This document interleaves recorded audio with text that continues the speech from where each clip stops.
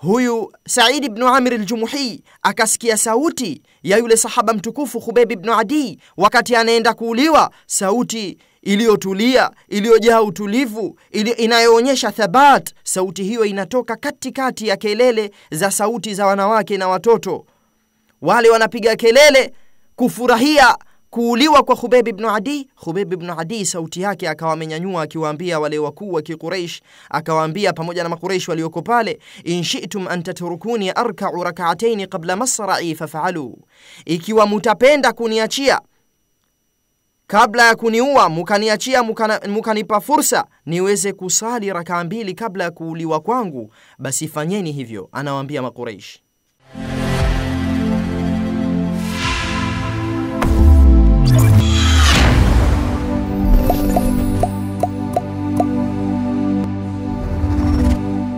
بسم الله الرحمن الرحيم. الحمد لله رب العالمين. والصلاة والسلام على رسول الله صلى الله عليه وسلم. رب اشرح لي صدري ويسر لي أمري. واحلل عقدة من لساني يفقه قولي. وبعد. kama kawaida yetu tunaendelea insha Allah katika kuelezana maisha ya masahaba radhiallahu anhum ajmain, na leo insha Allah tutamweleza sahabiyun jalil Said ibnu Amir Aljumuhi.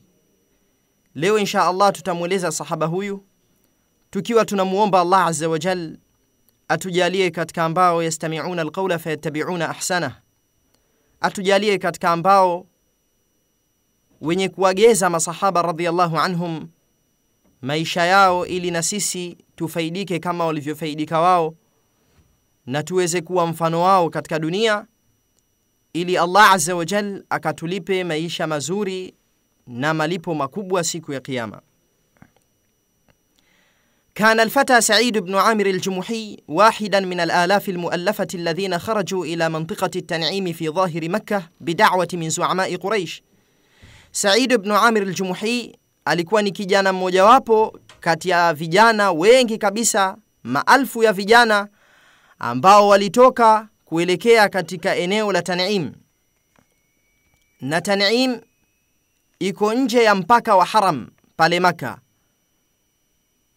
Kwa wale ambao kwamba waliowahi kwenda kufanya manasikul haji wal umra, mara nyingi itakuwa wamefika eneo hilo ambapo panapatikana wa msikiti mmoja ambao unaitwa Masjid wa Aisha ili watu kwenda kuhirimia umra kwa maelekezo maalum ya wanavyoni katika ibada hizo.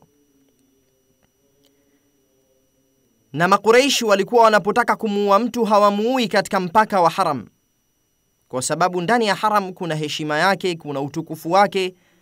Haifai kuwinda hata mnyama seuze kumuua mwanadamu.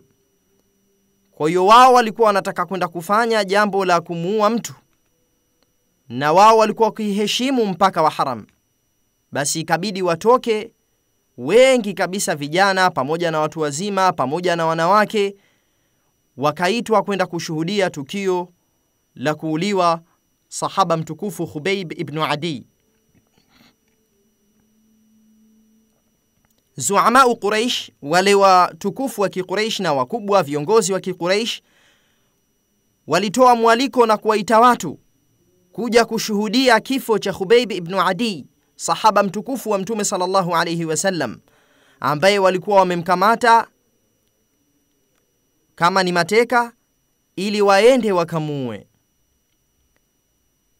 Lakini leo sisi tunataka kumzungumzia Saidi ibn Amir al-Jumuhi, huyu sahaba ambaye kwamba alikuja kuslimu na tutakujaona namna ya kuslimu kwake. Lakini wakati tunaelezea huu mkasa wa kuuliwa sahaba huyu mtukufu ambaye tumemweleza Khubayb ibn Adi, yeye Said ibn Amir bado hakuwa ni Muislamu.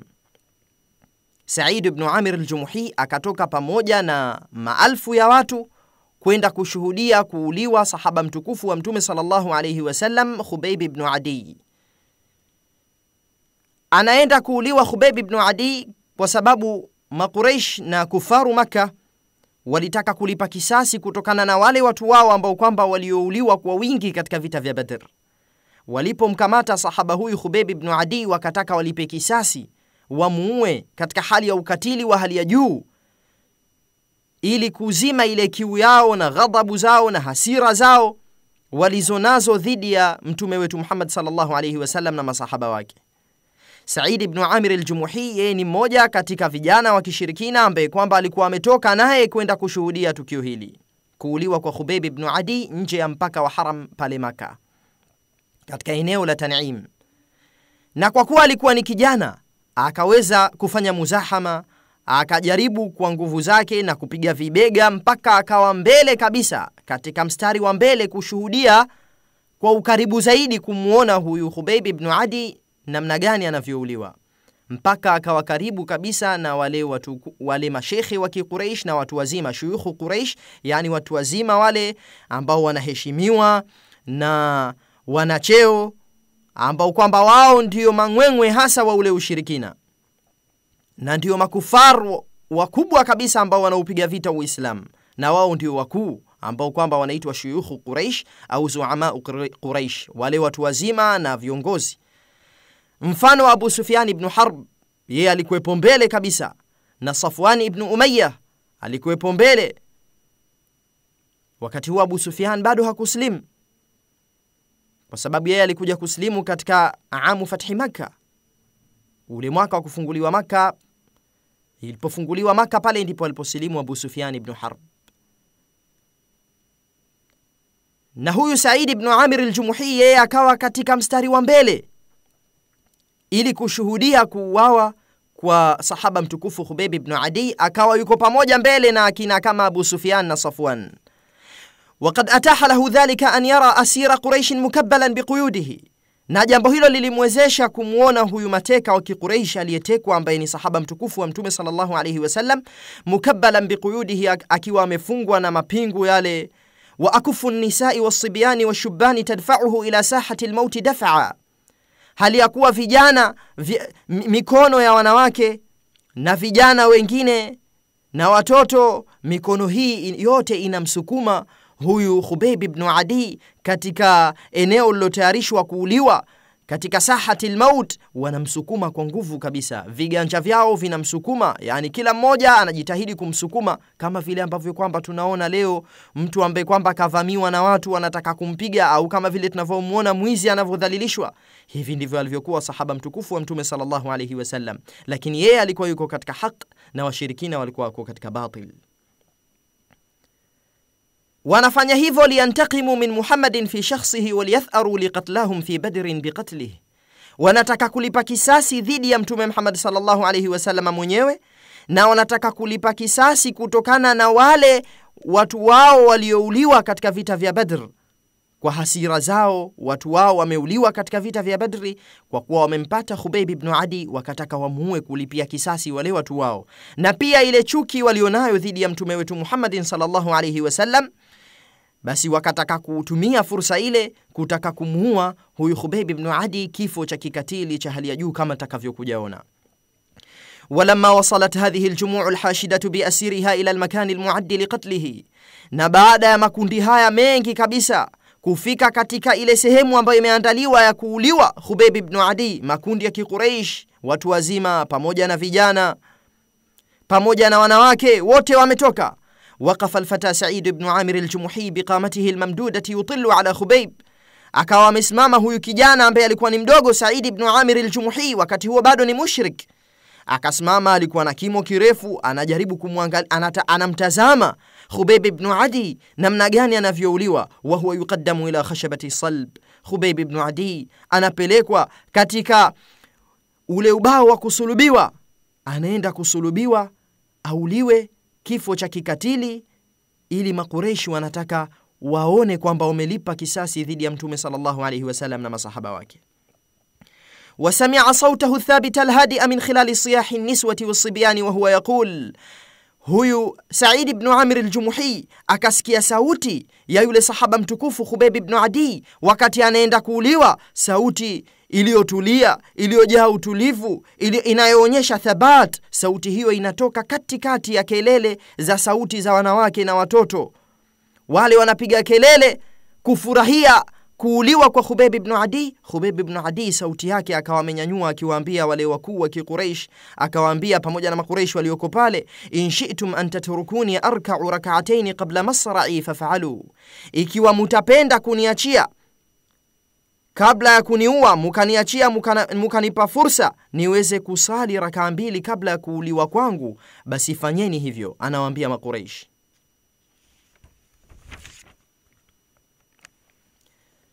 thumma nadhara ilayhi wa huwa yastaqbilu alka'ba, kisha Said ibn Amir al-Jumuhi akawa anamwangalia Khubayb ibn Adi hali ya kuwa ameelekea alka'ba, wa yusalli rak'atayn, akasali rakaa mbili ya lihusnihima wa ya tamamihima, uzuri ulioje wa rakaa mbili hizo na ukamilifu ulioje. Thumma raahu yuqbilu ala zuamai lqaumi wa yaqul, kisha akamwona Khubeib ibn Adi amewaelekea wale wakuu wa Makuraish huku akisema, wallahi laula an tadhunnu anni ataltu salata jazaan min almauti lastakthartu min alsalah akawambia wallahi laula an tadhunnu anni ataltu salata jazaan min almaut wallahi naapa kwa jina la Allah, lau kama si nyinyi kudhania kwamba nimeirefusha sala kwa kuhofia kifo, na kiogopa kifo, ndo maana nimerefusha sala, lastakthartu min assala, basi ningefanya ningerefusha sala nikakithirisha.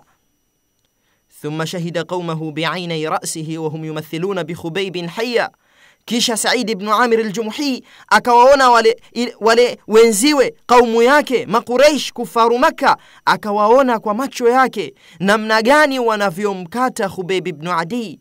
Akiwa hai kipande kipande, wakamkata pua, masikio, mdomo, vidole tamthilan, wakaanza kumkata vipande vipande. Fayaqtauna min jasadihi lqitata tilwa lqitati wahum yaquluna lah, wakaanza kumkata katika mwili wake kipande baada ya kipande, kipande chengine, na huku wakimwambia atuhibu an yakuna Muhammadun makanaka wa antanaj Je, unapenda ewe Khubeib kuwa Muhammad mahala pako tunamfanya haya tunayokufanya wewe, hali ya kuwa wewe uokoke? Unapenda Muhammad alaihi salatu wassalam awe nafasi yako hii? Fayaqul, akasema wadimau tanzifu min, hali ya kuwa damu zinamtoka katika mwili wake. Akawajibu jawabu ambayo haikuwa ya kawaida, jawabu ambayo inaonyesha mada hubihim lirasulillahi sallallahu alaihi wasallam, upeo wa penzi lao kumpenda Mtume sallallahu alaihi wasallam. Akasema, wallah, naapa kwa jina la Allah, ma uhibu an akuna aminan wadian fi ahli wa waladi wa anna muhammadan yukhazu bishauka, sipendi mimi kuwa niko katika amani, nimetulia, fi ahli wa waladi, tena niko na familia yangu, mke wangu na wanangu, wa anna muhammadan yukhazu bishauka, hali ya kuwa Muhammad alayhi salatu wassalam achomwe na mwiba. Siko tayari mtume Muhammad sallallahu alayhi wasallam achomwe na mwiba, hali ya kuwa mimi niko nyumbani, nimetulia na familia yangu na wanangu, niko tayari nife mimi na familia yangu na wanangu, lakini Muhammad alayhi salatu wassalam asichomwe hata na mwiba. Angalia penzi lao kwa mtume sallallahu alayhi wasallam, alafu fanya mukarana, linganisha baina ya hali yao masahaba radhiallahu anhum na hali yetu sisi. Anasema maneno hayo yanazidi kuwachoma makafiri katika, ma, katika nyoyo zao, wanachukia kuona kwamba huyu hivi tunavyomfanya ndiyo kwanza anadhihirisha penzi hili kwa mtume sallallahu alaihi wasallam. fayulawihu nnasu biaidihim fi lfada wayataala siyahuhum an iktuluh uktuluh, ikawa watu wanaashiria kwa mikono yao juu, kwa sababu walikuwepo watu wengi, basi kila mmoja anaashiria mkono wake juu, na huku sauti yake inanyanyuka, kila mmoja ke, kwa kelele kabisa wanasema an iktuluh uktuluh, wanaashiria kwamba muueni muueni kwa hasira za hali ya juu. Thumma absara Said bnu Amir Khubaiban yarfau basarahu ila lsama min fauqi khashabati salbi wa yaqul, kisha Said bnu Amir Aljumuhi, yesi ndiye alikuwepo mbele pamoja na kina Abu Sufyan na Umaya, akawa anashuhudia lile tukio an qurbin wa kathab, kwa, kwa katika hali ya ukaribu wa hali ya juu. Ikawa Said ibnu Amir anamshuhudia, anamshuhudia Khubaib amenyanyua macho yake mbinguni, min fauqi khashabati salb, akiwa tayari ashasulubiwa na amekatwa vipande vipande. Wayaqul, na huku anasema Khubaib ibn Adi, Allahumma ahsihim adada waktulhum badada wala tughadir minhum ahada. Allahumma ahsihim adada, e Mola wangu idhibiti idadi yao wote hawa, wajue asija akaokoka hata mmoja. Waktulhum badada, na uwaue kwa kuwafarakanisha ya rab uwachawanye chawanye na wao uwamalizie mbali. Wala tughadir minhum ahada wala usije ukamwacha yoyote kati ya hawa. Thumma lafadha anfasahu alakhira. Kisha akatoa pumzi zake za mwisho. Wabihi ma lam yastati' ahadun ihsa'ahu min darabati suyufi wa ta'anati rimah. Hali ya kuwa katika mwili wake ana majeraha hakuna anayeweza kuyahesabu. Kati ya majeraha aliyopigwa kwa panga na mengine majeraha ya mikuki kachomwa na mikuki radhiallahu anhu wa ardah akaondoka katika uhai huu akiwa na iz akiwa na utukufu wa hali ya juu hali ya kuwa ameufikisha ujumbe kwa maquraish kuonyesha nguvu za imani yake radhiallahu anhu wa ardah. Makureish wakarejea maka baada ya kumuua khubeib ibnu adi hali ya kuwa wamesahau walichomfanyia khubeib na kile kifo chake washasahau wamerejea kwa furaha lakini wamerejea katika hali hiyo lakin الفتى اليافع سعيد بن عامر الجمحي لم يغب خبيب عن خاطره. لحظة. huyu said bnu amir الجمحي akarejea ambaye ni kijana aliyoko katika umri amekaribia kubaleghe said bnu amir aljumuhi akarejea nyumbani. Hali ya kuwa lile, lile tukio ambalo lilotokea pale ile mashhad ambayo aliiona pale haikutoka katika akili yake hata kwa muda wa sekunde. Aliathirika athari iliyokuwa ya ajabu kabisa kana yarahu fi hulumihi idha nam. Alikuwa akimwona usingizini anapolala. Kila anapolala anamwona usingizini. Wayarahu bikhayalihi wahuwa mustaikidh, akawa anamwona kwa fikra zake anapokuwa yumacho wakati yumacho basi anamwona katika akili. Anaiona ile hali. Anaiona ile sura. Bikamiliha ile picha yote inamjia katika akili yake. Wayamthulu amamahu wahuwa yusalli rakaataihi lhadiataini lmutmainatain amama khashabati salb na anamuona utadhani amesimama mbele yake alipokuwa anasali zile rakaa mbili zenye utulivu mbele ya ubao wa kusulubiwa kabla hakusulubiwa anasali rakaa mbili. Fikiria hawa watu walikuwa wana thabati aina gani katika nyoyo zao. Fikiria hawa watu walikuwa na imani ya namna gani.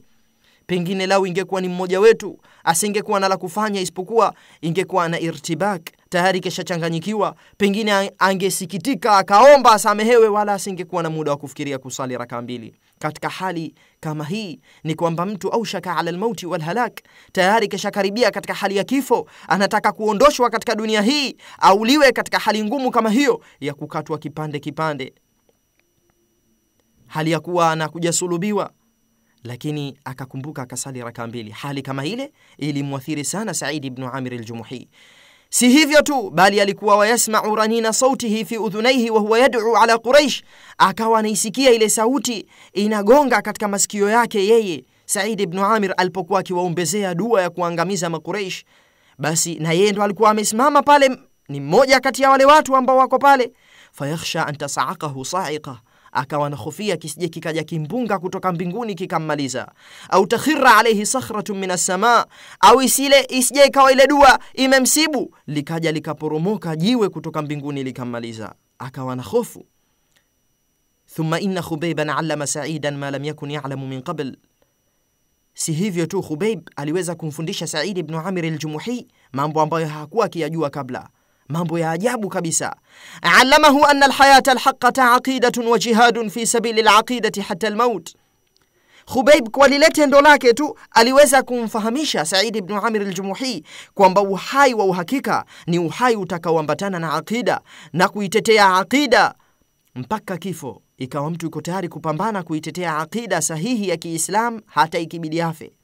Maana aqida ina thamani hata ikibidi gharimu mali wakati nafsi ya mtu lakini iman na uislamu usitoweke aqida ibakie katika ulimwengu huu na bado mtu anatakiwa aonyeshe aqida yake natazama namna gani alivyoonyesha ile ashhadu anna muhammadan rasulullah alivyoonyesha namna gani kwamba anashuhudia kweli huyu Khubeib Muhammad ni mjumbe wa Allah, akawa yuko tayari yeye afe na familia yake, lakini mjumbe wa Allah sichomwe hata na mwiba. وعلمه أيضا أن الإيمان الراسخ يفعل الأعاجيب ويصنع المعجزات na akamfundisha vile vile kwa tendo lake alilolitenda pale thabati aliyoonyesha shajaatun wa basala ushujaa wa hali ya juu aliouonyesha pale akaweza kumfundisha kwamba iman iliyotulia iliyothibiti inaweza kuonyesha maajabu na inaweza ikafanya mambo yanayofanana na miujiza yasiyoingia akilini. Eti hayuko tayari yeye kuwa ametulia yeye na familia yake, hali ya kuwa mtume wetu Muhammad sallallahu alaihi wasallam achomwe na mwiba. Angalia ni penzi la aina gani! Waallamahu amran akhar, pia aliweza kumfundisha jambo jengine kwa ule ushujaa alioonyesha pale, huwa anna arrajula alladhi yuhibbuhu ashabuhu kulla hadha alhub innama huwa nabiyun muayyadun min as-samaa. Aliweza kumfundisha kwamba mtu anayependwa na masahaba wake penzi kama hili kwamba mtu yuko tayari afe yeye na familia yake, lakini mtu kama huyu asichomwe hata na mwiba, bila shaka huyu atakuwa ni mtume wa kweli ambaye kwamba ana, ana, anapewa nguvu, nguvu itokayo mbinguni. Bila shaka huyu atakuwa ni mtume wa kweli. Ndiyo maana kwa nguvu itokayo mbinguni nguvu ambayo ilisababisha nyoyo za masahaba radhiallahu anhum zimwelekee mtu huyu mtume wetu Muhammad sallallahu alaihi wasallam, penzi ambalo halikuwa la kawaida walilonalo masahaba radhiallahu anhum kumpenda mtume sallallahu alaihi wasallam. Hayo yote ni mafunzo ambayo kwamba aliyapata huyu Said ibn Amir al-Jumuhi kutoka kwa Khubayb ibn Adi. Inda dhalika sharaha Allahu sadra Said ibn Amir ila al-Islam hapo Allah azza wa jal akatanua kifua cha Said aka, akampa ile neema kubwa ya kumpa Uislamu, kikatanuka kifua chake kwa ajili ya Uislamu, moyo wake ukapata inshirah, ukapata ufunguzi wa Uislamu. Faqama fi malain min annas, Said ibn Amir al-Jumuhi akasimama mbele ya watu Makureishi wenziwe, wa a'lana bara'atahu min athami Quraish wa auzariha, akatangaza mbele yao kwamba yeye yuko mbali na madhambi walioyafanya Makureishi na mzigo wa, wa makosa walioubeba Makureishi, kwamba yeye hayuko nao, na kwamba kuuliwa kwa Khubayb ibn Adi, yeye jambo hilo amejitenga nalo, na kwamba tokea muda huo ni kwamba huwa bariun min dhalika al-amr, yuko mbali na hilo jambo. Wa khal'ahu li asnamiha wa authaniha wa dukhulahu fi dinillah, akaonyesha kwamba yeye amejivua na haya masanamu wanayoabudu na hizi al-authan wal asnam zote yeye yuko mbali nazo, hayuko tayari kuabudu masanam na kwamba hilo jambo kashajitenga nalo. Wadukhulahu fi dinillah, akatangaza mbele yao kwamba yeye ameingia katika dini ya Allah subhanahu wa ta'ala, dini ya Uislamu. Hajara Said ibn Amir ila al-Madina, akahama Said ibn Amir kuelekea Madina. Walazima Rasulallahi salawatullahi alayhi akenda akawa yuko karibu na mtume sallallahu alayhi wasallam, akamlazimu akawa yuko chini ya mtume sallallahu alayhi wasallam. Washahida maahu Khaybara wama ba'daha min alghazawat, akaweza kushuhudia vita tofauti pamoja na mtume sallallahu alayhi wasallam, vita vya Khaybar na vita vilivyofuatia baada ya Khaybar. Na baada ya mtume sallallahu alayhi wasallam kufa, hali ya kuwa mtume sallallahu alayhi wasallam amemridhia Said ibn Amir, akabakia baada ya kufa mtume sallallahu alayhi wasallam pamoja na masahaba wale watukufu makhalifa Saidina Abubakar na Umar radhiallahu anhuma, akabakia nao hali ya kuwa yuko pamoja nao bega kwa bega, akawa kama ni upanga uliochomolewa, yuko tayari yeye kupambana na makafiri chini ya uongozi wa makhalifa wa mtume sallallahu alaihi wasallam. Akapiga mfano mbele ya waumini wenziwe kwamba mfano wa hali ya juu, mfano wa mtu ambaye kwamba amenunua akhira kwa kuuza dunia, akazipa kipaumbele radhi za Allah azza wa jal na ujira wa akhira, akaweka nyuma matamanio ya nafsi. Na makhalifa wa mtume sallallahu alayhi wasallam Abu Bakar na Umar walikuwa wanajua ukweli wa Said ibn Amir na uchamungu wake, bali walikuwa wanasikiliza mpaka nasaha zake, wakisikiliza kwa makini.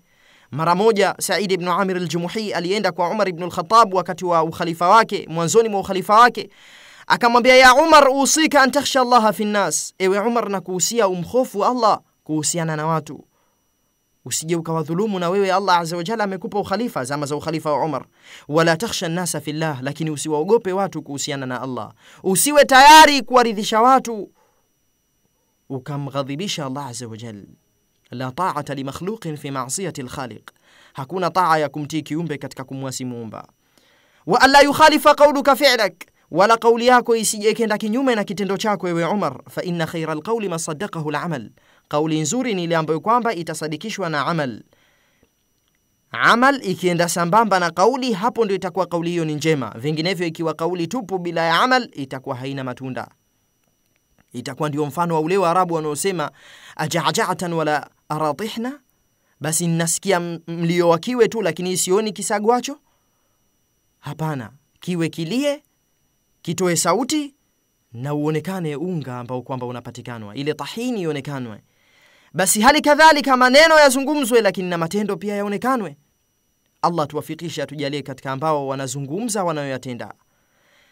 Akamwambia ya Umar, ewe Umar, aqim wajhaka liman wallaka Allahu amrahu min baidi lmuslimina wa qaribihim, ewe Umar, elekeza uso wako kuwaangalia wale ambao Allah aza wajal amekupa uongozi juu yao kati ya Waislamu wa mbali na wa karibu, waangalie, usighafilike. wa ahibba lahum ma tuhibu linafsika wa ahli baitik, alafu wapendelee Waislam kile unachojipendelea mwenyewe na watu wako wa nyumbani. wakrah lahum ma takrahu linafsika wa ahli baitik, ewe Umar, chukia kuwafika Waislam kile ambacho unachukia kukufika wewe na watu wako. wakhudhi lghamarati ila lhaqi wala takhaf llahi laumata laim, na ingia katika matatizo, zamia katika bahari ya mabalaa tofauti katika kuutetea Uislamu katika haki, hata ikibidi wewe ufunikwe na matatizo, lakini itetee haki. Wala takhaf fillahi laumata laim, wala usihofu kwa ajili ya Allah lawama ya mwenye kulaumu. Umar akasema kumwambia Said, waman yastatiu dhalika ya Said, nani anaweza kufanya hivyo ewe Said? Faqala, akamwambia yastatiuhu rajulun mithluk anaweza kufanya hivyo mtu mfano wako ewe Umar, mimman wallahumullahu amra ummati Muhammadin sallallahu alayhi wasallam, katika watu ambao Allah atawapa uongozi juu ya ummati Muhammad sallallahu alayhi wasallam. Yeyote ambaye Allah amempa uongozi, basi anaweza kufanya hivyo. Ndio maana Allah akamchagua. Kama Allah alikuchagua akakuweka katika nafasi hiyo, basi unaweza kufanya hivyo. Inda dhalik daa Umar بن الخطاب saidan ila hapo Umar akaona thabat ya Saidi bnu Amir, akamchagua amsaidie katika kazi zake. Akamwambia, ya Said, inna muwalluka ala ahli Hims faqum. Akamwambia, ewe Said, sisi tunakupeleka, tunataka kukufanya uwe gavana wetu huko Hims, kwa hiyo itabidi usimamie hili jambo hilo. Faqal, akasema Said, ya Umar, nashadtuka llaha alla taftinani Ewe Umar, nakuapisha kwa Allah, hutaki kunfitinisha we, si unataka kuntia katika fitna? Masahaba walikuwa hautaki uongozi, wana hofu wasije wakasimamishwa mbele ya Allah azza wa jalla, ikawa mzigo wa madhambi makubwa wameubeba. Wanahofu wasije wasiutekelezee uongozi haki yake.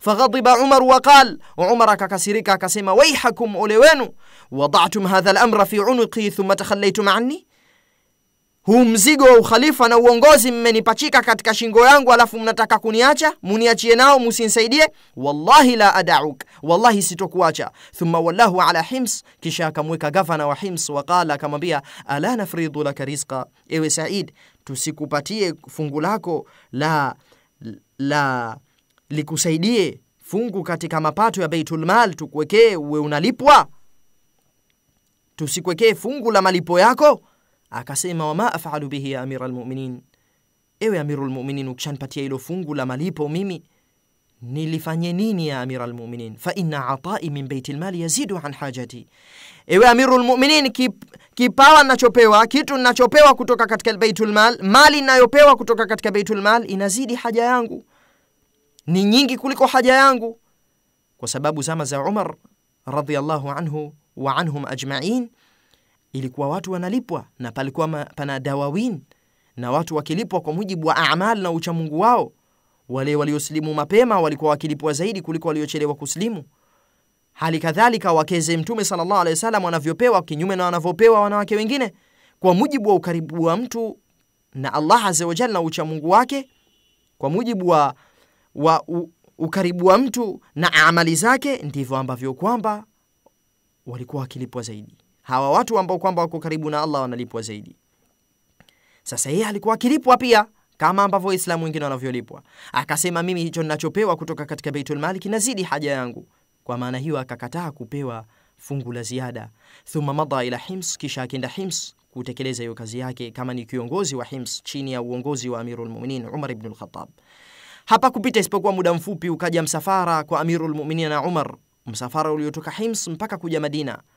Ndani ya msafara palikuwa na watu ambao Umar akiwaamini, ambao anathika nao, akawaambia uktubu li asmaa fuqaraikum hata asudda hajatahum, ebu niandikieni majina ya mafukara wenu, wale maskini wenu walioko Hims, ili niweze kutatua haja zao, nizibe shida yao. farafau kitaban faidha fihi fulanun wa fulan wa Said ibn Amir, wakamletea barua wakamwandikia watu tofauti fulan na fulan, akiwemo Said ibn Amir al-Jumuhi, eti hata kiongozi wao ni mmoja kati ya mafukara wanaohitaji kusaidiwa kule Hims, na huyo ni kiongozi gavana wa Hims nzima. Faqal, akasema Umar, wa man Said ibn Amir, huyu Said ibn Amir ni nani? Wakasema amiruna, si ni kiongozi wetu. Akasema amirukum faqir, kiongozi wenu pia naye fakiri? Qalu naam, wakasema ndio Wa wallahi innahu latamurru alayhi alayamu tiwalu wala yuqadu fi baitihi nar, wallahi panapita masiku mengi haukokwi moto katika nyumba yake, hakuna hata cha kupikwa. Hebu fikiria kiongozi huyu alikuwa namna gani? Huyu ndio Said ibn Amir al-Jumuhi. Lakini tusisahau kwamba hili lilikuwa ni tunda tamu ambalo lilipatikanwa kwa ushujaa na iman aliyoonyesha Khubayb bnu Adi wakati wa kifo chake. فبكى عمر حتى بللت دموعه لحيته. أكلي عمر بن الخطاب رضي الله عنه وأرضاه. أكلي سانا مبكى ماتشوزيا كروانيشا ديفوزاكي ثم عمد إلى ألف دينار كيشا أكندك زيجكوا عمر بن الخطاب. ديناري ألف موجة فجعلها في صرة أكازيتيا كتك كيفوكو. إلي كمبلكي سعيد بن عامر الجمحي رضي الله عنه وأرضاه.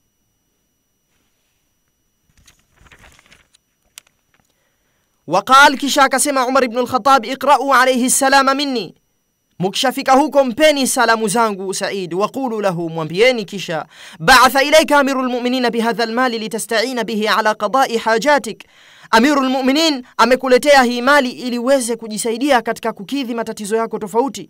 Ukaja msafara ule na kile kifuko ambacho kwamba kilikuwa kimetiwa zile dananir. Zilipofika kwa Said ibn Amir akaziangalia, akaziona dananir, akaziweka mbali na yeye, kisha akasema inna lillahi wa inna ilaihi rajiun. Akaomba dua ya msiba, utadhani kwamba limeteremka balaa kubwa katika nyumba yake. Fahabat zaujatuhu madhura wa qalat mkewe akanyanyuka kwa mshtuko baada ya kumsikia mumewe ameomba dua ya msiba, akasema mashanuka ya Said, umefikwa na nini ewe Said? Mbona una, um, unaomba dua ya msiba? Amata amirul mu'minin hivi amirul mu'minin amekufa Umar ibn al-Khattab Akasema bal a'zamu min dhalik, bali kubwa kuliko hilo ewe mke wangu. Qalat, akasema mkewe, ausiba lmuslimuna fi waqaa, je, itakuwa Waislamu wame, wamefikwa na matatizo katika vita, wameuliwa kwa wingi? Qala, akasema bal a'zamu min dhalik, bali kubwa kuliko hilo ewe mke wangu. Akasema mkewe, wama adhamu min dhalik, ni lipi kubwa kuliko hilo? Akasema dakhalat alayya dunia litufsida akhirati, imeingia ndani ya nyumba yangu dunia ili ifisidi akhira yangu. Wahalat lfitnatu fi beiti, na tayari fitna ishaingia katika nyumba yangu. Mkewe hajui dunia gani na fitna gani. Akasema takhalas minha, basi jiepushe nayo hiyo fitna iweke mbali. Wahiya la tadri min amri dananiri shaia, hali ya kuwa mkewe hajui kuhusiana na zile dananir alizoletewa mumewe. Akamuuliza mkewe, awatuininani ala dhalik, je, utansaidia mke wangu juu ya kazi hiyo ya kuondoa fitna ndani ya nyumba yangu? Akasema ndiyo mume wangu. Faakhadha dananira fajaalaha fi surar thumma wazaaha ala fuqarai lmuslimin, akazichukua zile dananir Said bnu Amir akazitia katika vifuko akazigawa kwa mafukara wa waislam Zama hizo palikuwa na kitu kinaitwa surra, kama ni kifuko cha kitambaa alafu juu kinafungwa kwa nyuzi. Basi haka, mkewe akamsaidia katika kazi hiyo, na hivi ndivyo inavyokuwa nyumba iliyojaa ucha Mungu. Muumini, mwanamme akiwa muumini mcha Mungu, basi mkewe pia anakuwa mcha Mungu. Ndio tukaambiwa kwamba ukitaka mke ambaye atafanana na Fatima, basi na wewe jitahidi uwe kama Ali hapo ndio utaweza kumpata mke atakayefanana na Fatima. Kwa maana hiyo, Said ibn Amir al-Jumuhi alikuwa mcha Mungu, akailea nyumba yake katika ucha Mungu. Leo njoo katika hali za wake zetu, alafu umweleze mke jambo kama hili, atakuona ni mtu wa aina gani? Hatokufahamu, atakuona umechanganyikiwa, eti unaomba mpaka dua ya msiba kwa kuja mali katika ndani ya nyumba. Hapakupita muda mrefu, Umar ibn al-Khattab mwenyewe akaja katika miji ya Sham, na Hims ilikuwepo katika diaru Sham, Syria. Akaja kukagua hali za Sham. Alipofika Hims, na Hims ilikuwa ikiitwa Kuwaifa. Kuwaifa maanake ni kijikufa kidogo. Kufa ni mji ambao unapatikana wa Iraq, na mji huu ulikuwa una fitna nyingi, na watu walikuwa wanapenda fitna, kuwatilia fitna viongozi wao. Kila kiongozi anayeletwa, kila gavana anayewekwa pale Kufa katika Iraq, basi ilikuwa ni fitna, anafanyiwa fitna, anachonganishwa baina yeye na kiongozi wake mkuu Amirul Mu'minin, na Waislamu wana fitna kubwa kule Kufa. Sasa hii Hims iko Sham, haiko Iraq, lakini ikaitwa Kuwaifa, yani Kufa ndogo, kwa maana ya kwamba palikuwa na fitna zinazofanana na fitna za Kufa. Alipofika huko Umar ibn al-Khattab akakutana na watu hawa wa Hims, akawauliza baada ya kuwasalimia, akawaambia kaifa wajadtum amirakum, mnamwonaje kiongozi wenu? Wakashtakia wakasema, huyu ana matendo manne, sisi hatumwelewi, tunaona hafanyi uzuri katika mambo manne haya. Kullu wahidin minha a'dhamu min al-akhar, kila tendo mojawapo au kila jambo mojawapo ni kubwa kuliko jenziwe. Umar ibn al-Khattab akasema, kabla ya kuwasikiliza ikabidi Umar kabla ya kuwasikiliza hawa wanamshtakia nini kiongozi wao, ikabidi awakusanye. Na hiyo ndiyo taratibu ya Kiislamu, umkusanye almuddai walmuddaa alayh, mwenye kudai mashtaka na yule ambaye kwamba anadaiwa dhidi yake mashtaka, wote wakusanye wasikilize Anasema Umar, fajamatu bainahu wa bainahum, nikawakusanya baina yake Said ibn Amir kiongozi na hawa waongozwa. wadaautu llaha alla yukhayiba dhanni fih, nikamwomba Allah asije akaiangusha dhanna yangu kwa Said, maanake namdhania ni katika wacha Mungu, yasije akanibainikia mambo hapa ikawa kinyume na alivyokuwa nikimdhania. Faqad kuntu adhima thiqati bih, anasema Umar, nilikuwa namwamini sana Said ibn Amir al-Jumuhi. Asubuhi mapema, anasema Umar, washakuja kwangu wao na amiri wao, nikawambia mnamshtakia nini amiri wenu? Wakasema la yakhruju ilaina hata yataala nahar, huyu kiongozi wetu hatoki kuja kusikiliza shida zetu na matatizo yetu mpaka uinuke mchana, yani usubuhi ishaondoka au mchana ushanyanyuka, mchana mkubwa ndo huanza kutoka akasikiliza shida zetu. Umar anasimulia mwenyewe mkasa, anasema nikamwambia Said ibn Amir, unasemaje kuhusiana na hilo? Akanyamaza kidogo Said, kisha akasema wallahi inni kuntu akrahu an aqula dhalik, wallahi mimi nilikuwa ninachukia, sipendi kulieleza jambo hilo.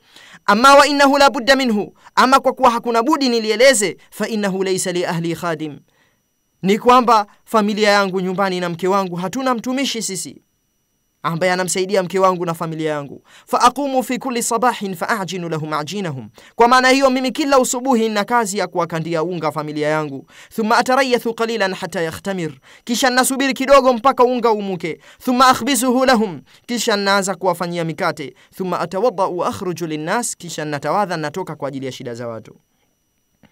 Umar ikamsikitisha hiyo hali Fakultu lahum, anasema Umar, nikawaambia watu wa Hims, wama tashkuna minhu aidha, jingine mnashtakia lipi? Ili kisha tupa jawabu yake, na nadhani jawabu imekuridhisheni. Wakasema innahu la yujibu ahadan bilail, huyu Said hakuna anayemwitikia mtu usiku akamtimizia shida yake. Ukiingia usiku, yeye kawaida usiku anakuwa anajitenga, hakuweka usiku kwa ajili ya shida za watu, labda akafungua majal, uwanja ukawa uko wazi kwa ajili ya mwenye shida. Umar anasema nikamwambia, wama taqulu fi dhalika ya Saidi, hilo Saidi pia unajibu nini? Akasema, inni wallahi kuntu akrahu an ulina hadha aidha, hakika mimi wallahi nilikuwa nachukia kulieleza hili vile vile. Fa ana qad jaaltu nahara lahum, mimi nimeufanya mchana kwa ajili yao, walleila lillahi azza wa jal, na usiku nimeutoa kwa ajili ya Allah subhanahu wa ta'ala. Mchana kwa ajili ya alkhalq, usiku kwa ajili ya alkhaliq, muumba wa mbingu na ardhi.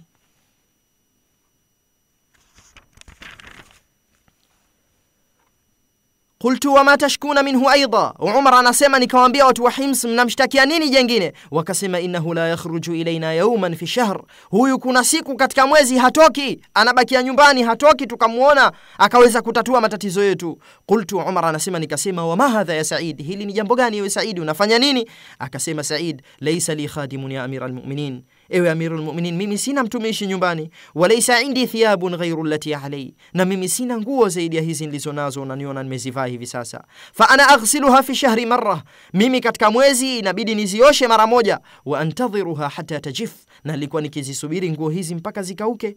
Yani mara kwa mara huwa nazisubiri katika mwezi panakuwa na siku moja naosha nguo zangu nazifua vizuri, alafu inabidi nazisubiri nguo hizi mpaka zikauke. Thumma akhruju ilaihim fi akhiri nahar, kisha katika siku hiyo ndo inabidi mwisho wa mchana, nyakati za jioni, tena karibia maghribi na usiku huko, ndo ninatoka kwenda kukidhi haja za watu. Inabidi ndani ya mwezi panakuwa na siku inabidi nioshe nguo zangu, na masahaba radhiallahu anhum walikuwa ni wasafi Ni kweli hawakuwa na nguo nyingi, nguo moja tu, lakini masahaba walikuwa watunzaji, ni wasafi katika mavazi yao. Haina maana ya kwamba walikuwa wakivaa nguo chafu wakinuka, hasha wakalla, bali masahaba radhiallahu anhum walikuwa ni wasafi, na nguo yake hiyo hiyo mmoja, kwa zuhudi yake na uchamungu wake, ameielekea akhira, hakuipa pia dunia, hana nguo zaidi ya hiyo.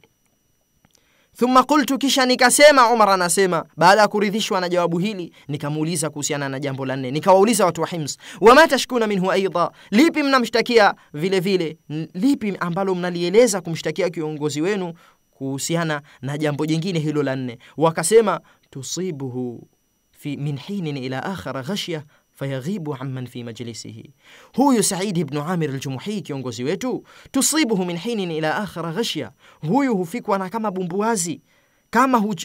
kuna wakati anatoka kimazungumzo, ile akili yake inakuwa haiko na sisi, hupigwa kama bumbuazi akawa hayupo, kama vile mtu ambaye kwamba imefunikwa akili yake na jambo fulani.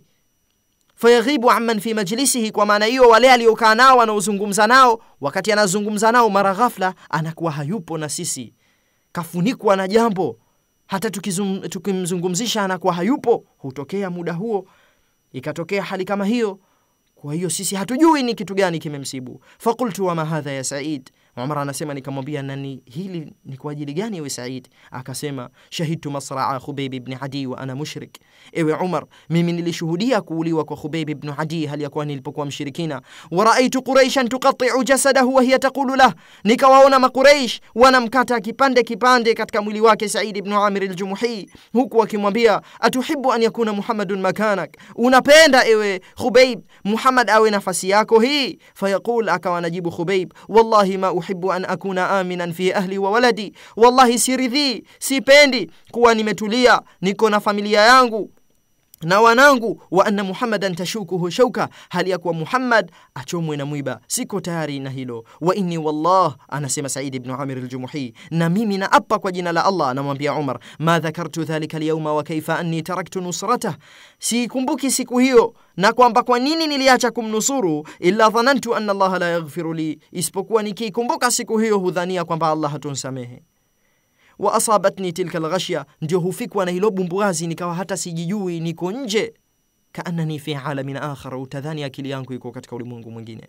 Nikikumbuka kwa nini niliacha kumnusuru, kwa nini sikumtetea? Kwa nguvu zote, nikahakikisha namtetea hata ikibidi mimi niuliwe katika hali kama ile, lakini ilikuwa nimtetee. Sasa nikikumbuka kwa nini ameuliwa katika hali kama ile, amekatwa kipande kipande, wadimau tanzifu min, hali ya kuwa damu zinatoka katika mwili wake, iweje mimi sikumnusuru? Kila nikikumbuka hali hiyo, ndiyo ninafikwa na hiyo hali. Inda dhalika qala Umar Wakati huo Umar baada ya kujibiwa mambo manne hayo akasema, alhamdulillahi alladhi lam yukhayib dhanni bih, shukrani zote ni za Allah, sifa zote ni za Allah ambaye kwamba hakuiangusha dhanna yangu kwa Said kama nilivyomdhania kuwa ni mcha Mungu, na naam, alikuwa ni mcha Mungu kweli.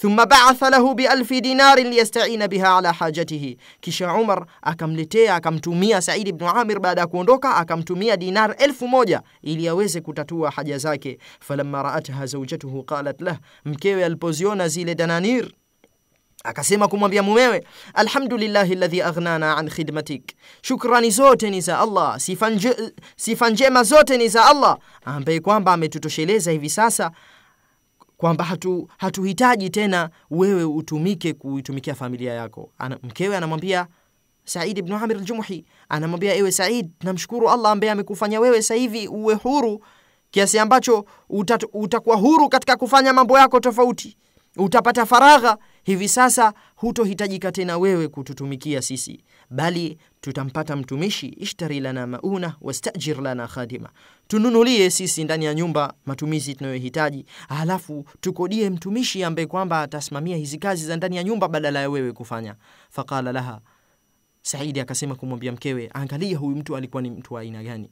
wahalaki fima huwa khairu min dhalik Je, mke wangu ni kuonyeshe unataka jambo ambalo bora zaidi kuliko hilo ambalo umelifikiria wewe? Qalat wa madhak, mkewe akamwambia jambo gani? Akasema nadfauha ila man yatina biha, tuzichukue pesa hizi dinari elfu tumpe yule ambaye atatuletea siku ambayo wanahnu ahwaju ma nakunu ilaiha, siku ambayo sisi tutahitajia zaidi hizi pesa tumpe yule ambaye kwamba atatuletea siku ambayo tutahitajia zaidi kuliko hivi sasa. Siku hiyo tutakuwa tuna shida, tutazihitajia zaidi. Qalat wamadhak, mkewe hakumwelewa, akamwambia vipi hivyo, nakusudia nini? Mbona sikuelewi? Akasema nukriduha llaha qardan hasana, tumkopeshe Allah mkopesho mzuri. Allah tukimkopesha atatulipa siku ya Kiyama kwa maana ya kwamba tuzitumie katika njia ya Allah aza wajal kama ni kusaidia maskini, mafukara, walio wajane, katika fi sabilillah, njia ya Allah aza wajal yoyote iwayo. Lakini kwa kuwa mke naye amelelewa katika dini, akasema naam, wajuzita khaira. Mkewe akasema sawa, nimekubali, Allah akulipe kheri, ulipwe kheri ewe Said ibn Amir al-Jumuhi kwa fikra yako nzuri kama hii. Sijui ingekuwa wake zetu leo wengekubaliana na maamuzi yetu kama hayo au wasingekubaliana, bali kabla wake zetu sisi wenyewe, sijui kama ingetupitikia fikra kama hiyo ya kwamba tuzieke mali, tuzieke dananir hizi tuje tufaidike nazo akhira. Na dananir ni pesa ambayo ya dhahabu na ina thamani kubwa kuliko fedha ambayo, ambayo kuliko dirham ambayo asili yake ni fedha, kwa sababu zama hizo zilikuwa dananir ni vipande vya dhahabu ambavyo kwamba vina thamani kubwa, na dinar moja ni sawa sawa na dirham kumi na mbili za fedha. fama ghadara majlisahu alladhi huwa fihi hata jaala dananira fi surar, basi hapo hapo Said ibn Amir kabla ya kuondoka katika ile majlisi yake aliyokaa na mkewe pale pale, akaanza kuziweka zile dananir katika vile vifuko, na ilikuwa ni pesa nyingi sana. Kisha akasema kumwambia mkewe, intaliq biha, akasema kuambia watu wake wa nyumbani, intaliq biha ila armalati fulan. Hebu anawatuma watu wake wa nyumbani, anamwambia mmoja wao, hebu sichukue pesa hizi dananir hizi, mpelekee mjane wa mtu fulani, wa ila aitami fulan, na mayatima wa mtu fulani, wa ila masakini ali fulan, na maskini wa, wa watu wa fulani. Alimradi akazigawa pale zile, zile pesa kwa watu wote wahitaji ambao kwamba wanahitajia miongoni mwa mafukara wa Kiislamu. Huyo ndiyo Said ibn Amir al-Jumuhi na hicho ndio kisa chake radhiyallahu an Said ibn Amir al-Jumuhi. Allah mridhie Said ibn Amir al-Jumuhi, faqad kana min alladhina yu'thiruna ala anfusihim walau kanat bihim khasasa, kwa kweli alikuwa ni katika wale ambao kwamba wanawapa kipaumbele wenzi wao hata kama wao wanahitajia zaidi, na hii ndiyo sifa ya Ansar.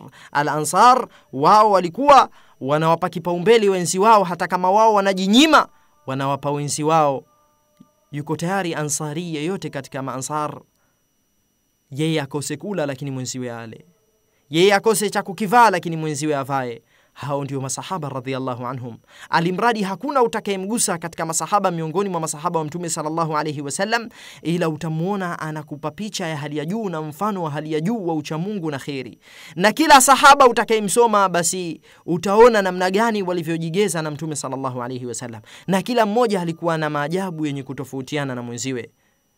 Ukimwangalia Hubeiba ambaye tumemsoma kama ndio madkhal ni, ni kiingilio cha kuingia katika kisa cha Said ibn Amir al-Jumuhi na kueleza namna gani huyu Said alivyoathirika na hata kuamini kwake kulikuwa ndio sababu sababu ya huyu Khubayb ibn Adi kifo chake. Kwa kweli tutaona namna gani hawa masahaba radhiallahu anhum walikuwa wacha Mungu na upeo wa imani yao ulivyokuwa wa hali ya juu.